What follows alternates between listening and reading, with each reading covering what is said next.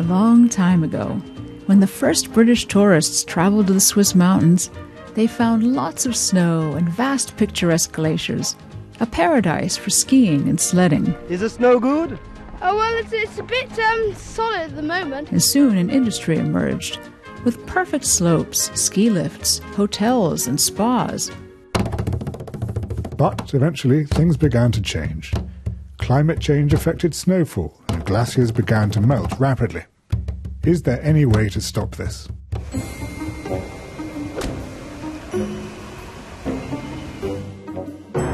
The effects of climate change are visible. Since 1850, Swiss glaciers have lost 60% of their volume.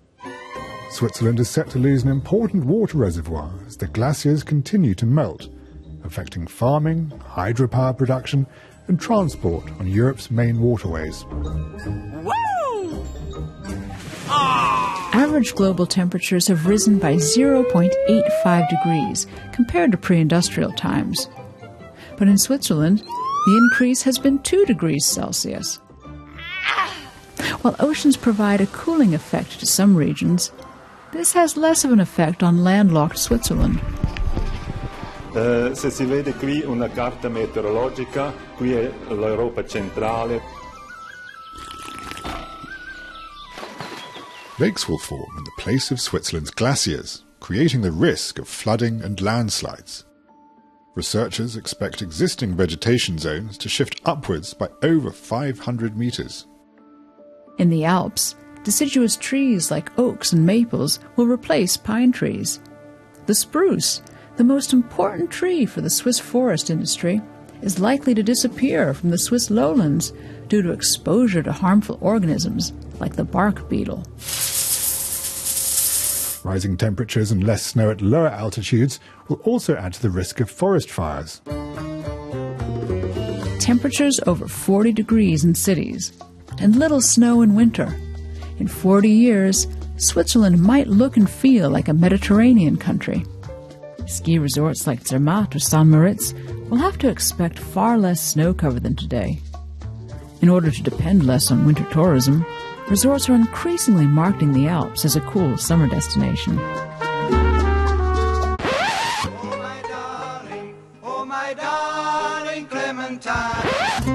Farmland will get drier and more irrigation will be needed.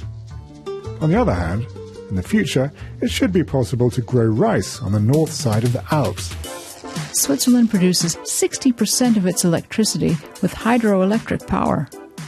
Long periods of drought could have a major impact on hydropower production. Since Switzerland also plans to phase out nuclear power, it'll have to make more of an effort to promote renewable energy and to improve energy efficiency. Hmm. Luckily, the solar industry still has a lot of potential.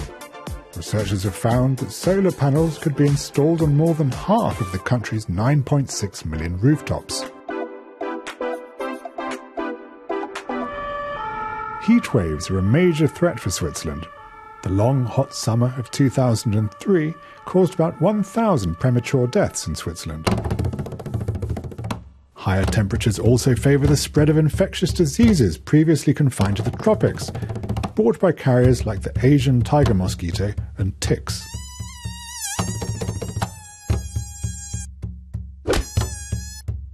That's a lot for Switzerland to deal with.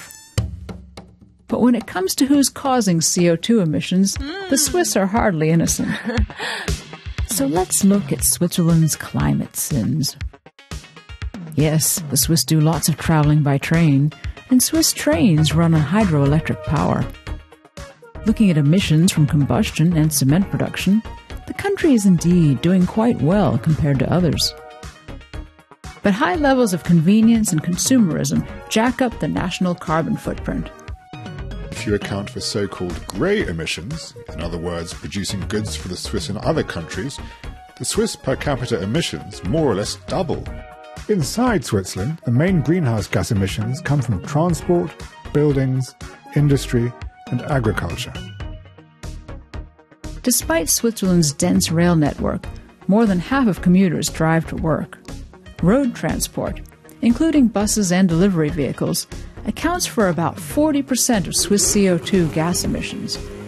The fear of catching COVID 19 on public transit has put many citizens back behind the wheel or on motor scooters, as reported in a study by the Deloitte Switzerland consulting firm. The average Swiss flies about 9,000 kilometres per year, twice as much as 20 years ago. But there is growing public pressure to curb air travel. In summer 2020, Swiss Parliament passed a carbon tax on flight tickets. Services like My Climate offer guilt ridden polluters the option to pay to offset their carbon footprint. Buildings account for over a quarter of all CO2 emissions.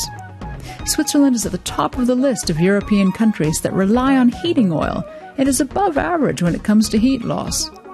One reason is that many of the buildings are relatively old, so there's lots of potential to bring down emissions here, but high renovation costs are slowing things down.